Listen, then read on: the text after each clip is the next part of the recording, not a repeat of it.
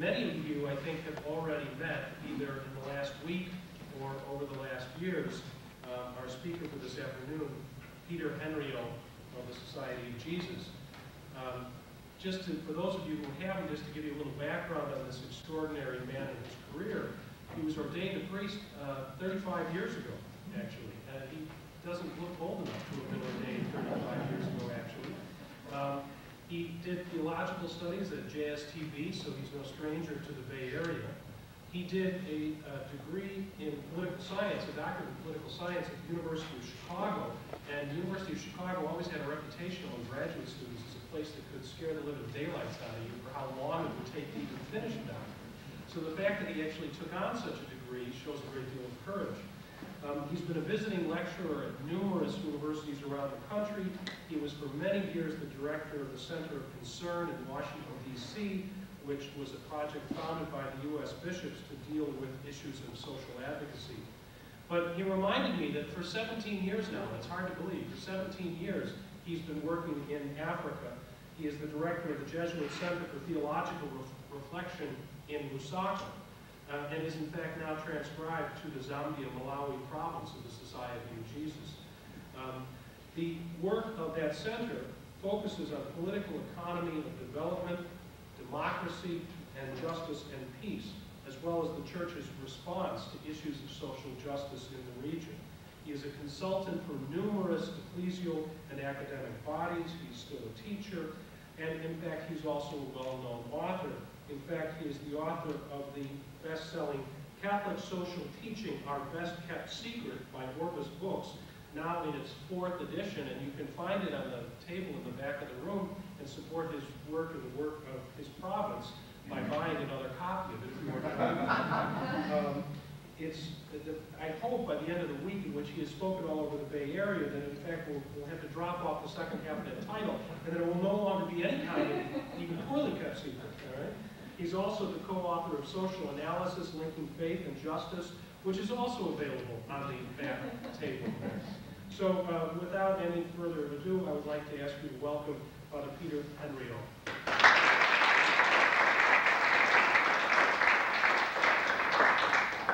Thank you very much. I was reminded when you mentioned uh, the Ralph and Joan Lane Center that Ralph Lane was an early encourager of me, whose own work in sociology, and when I came to uh, do my theological studies here. So in a special way, I feel very privileged to be part of this community here. Uh, it has been a, a, very good privilege for me, a wonderful opportunity for me to be here the past few days. Many, many, many years ago, I went to Santa Clara. So I still love USF, but I was very impressed by what's going on on this campus, as well as USF, as well as JSTB, in terms of an international concern that encourages me very, very much. And so I'm very happy to be part of a program that's been busy but very satisfying, particularly in the exchange with students or so. Um, the topic of Catholic social thought is very large, and so in the exchange back and forth with Julia Dowd, making arrangements, we said, well, Catholic social thought and African public policy. I'd like to make two kind of cautions or two kind of limits as I begin my presentation. Uh, I'm a visitor to Africa. I lived there almost 17 years, but that still makes me a visitor. And so there are some people in the audience who know Africa much better than I do.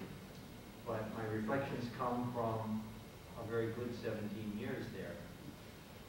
But secondly, when I speak about African public policy, Africa is a very big continent, and it's really public policy issues in many different parts of Africa. So I will speak about African public policy, but specifically speak about what I'm most familiar with, Zambia, the country I've lived in now in the 17th year. Uh, my head is there, my heart is there, my hands are there, and I'm eager to get back in just another couple of weeks. Or so. Uh, but I engage with public policy issues uh, from a center, a Jesuit center, similar to the Jesuit centers around the world, that look at social issues, political, constitutional issues, uh, that look at church issues, but from a perspective of doing good research. We're a research institute that also does education, but we do advocacy. We're an activist group. And so we focus on some of the issues that I'm going to be talking about. So what I want to do is to say something about three things. I've been accused many times of being Trinitarian, very Jesuit. All my talks come out in three ways or so. But the first thing I'm going to talk about is six key issues of public policy. Because when you talk about Africa and public policy, let's make it very concrete.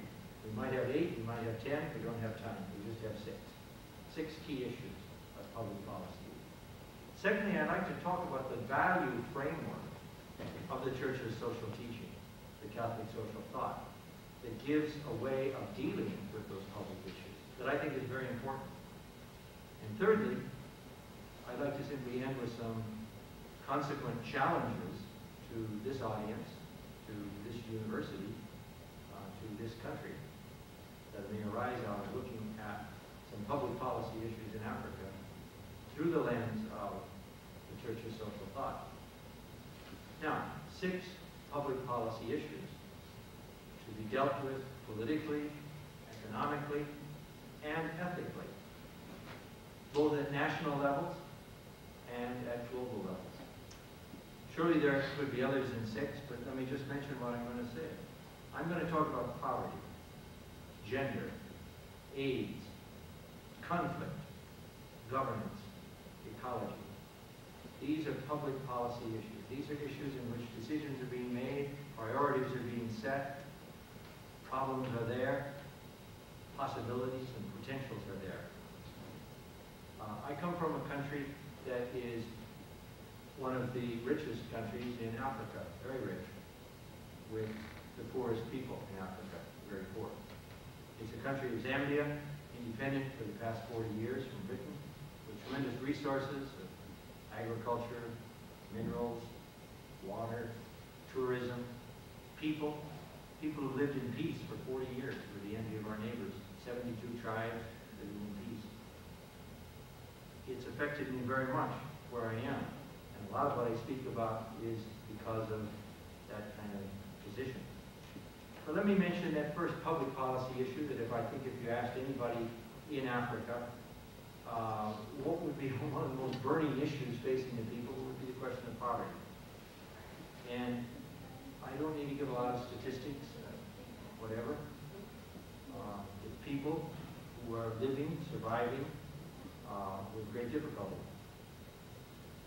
Tremendous resilience. That's what I say. Tremendous resilience. I'm not so sure I would be as resilient as the people I live with if I lived in those situations and circumstances. But poverty is a very serious, very, very serious issue. It shows up then in hunger, shows up in a lack of education, lack of health care, shows up in poor water and sanitation, poor housing, a lot of the kinds of things you hear about, you know about.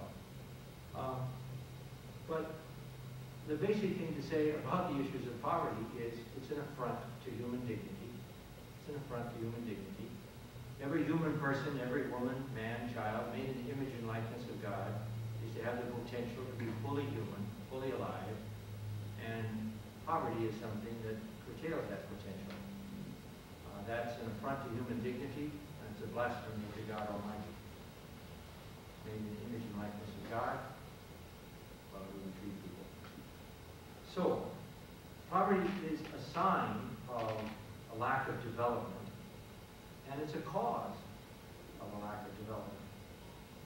Uh, I don't, I talk a lot about the social teaching, it's a big thing for me. I don't always quote popes as such, but I do quote this one, Paul VI, where he defined development as the movement from less human conditions to fuller human conditions. And as Irenaeus said, the glory of God is the human person fully alive. That's why the issue of poverty is such a challenge. Not just economically, not just politically, but ethically, religiously. Now obviously, question always comes up, well, you know, why is poverty such a public policy issue in Africa, in Zambia? Why, why is poverty present there?